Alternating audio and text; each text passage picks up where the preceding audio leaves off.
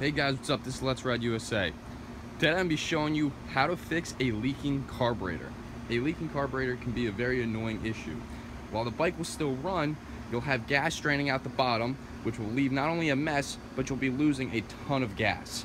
So today I'm going to show you how to fix that. So the first step in fixing a leaking carburetor is to understand why it is leaking. And most likely the reason that the carburetor is leaking gas out the overflow tube is because the floats are stuck open. And here are the floats. This is what the inside of your carburetor looks like. This outer white piece right here, that's your float. And when you tap the float, it should bounce up and down. That's how you know you have a healthy float. However, this is a bad float. As you can see, it's very hard to push down and it doesn't rebound quite as good as the healthy float does. So obviously, the way you fix this is to get the float unstuck. So the first way to try to get your carburetor float unstuck, and this is probably the easiest way to do it, is to locate your overflow tube, which is connected to the bottom of the carburetor right there. This is where, if the float valve is stuck open, this is obviously where the gas is draining out.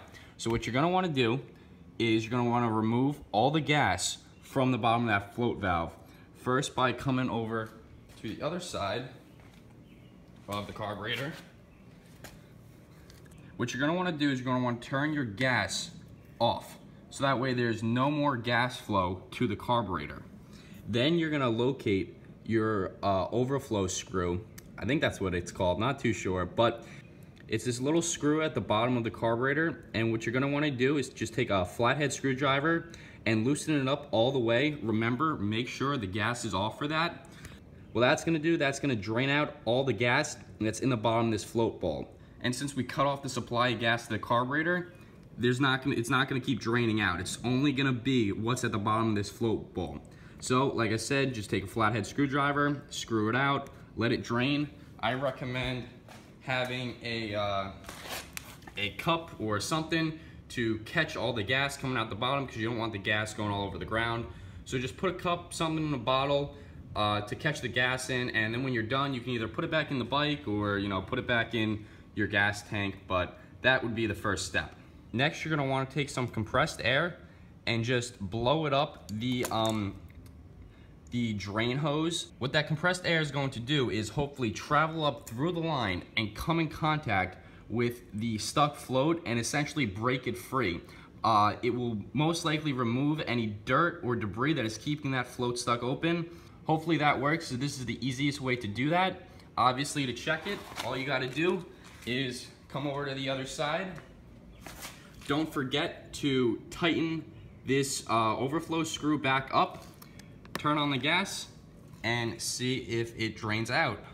If the compressed air technique does not work, what you're gonna need to do is take apart the carburetor, clean it, and try to figure out what dirt and debris is uh, keeping that float valve stuck open. Okay, so we have removed the carburetor, we've taken it apart, and we've cleaned it thoroughly.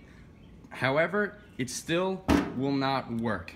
As you can see, the problem is not that the carburetor is dirty, because we have obviously cleaned it, and I've tried this in the bike, put the gas on, and it continues to leak gas. And the reason is, is because the float valve has gone bad. Now the float valve is very easy to get to. You just slide this pin out and the float comes off and that little needle right there, that is the float valve. So all you need to do to replace it is take it out. Actually, we'll just slides out very easily. And then what you're gonna wanna do is get a fresh float valve. Just slide it in and put it back together.